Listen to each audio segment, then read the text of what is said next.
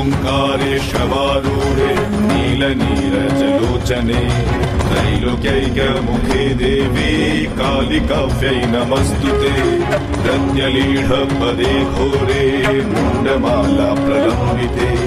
खर्विलम्बोदरे भीमे कालिकाव्यै नमस्तु ते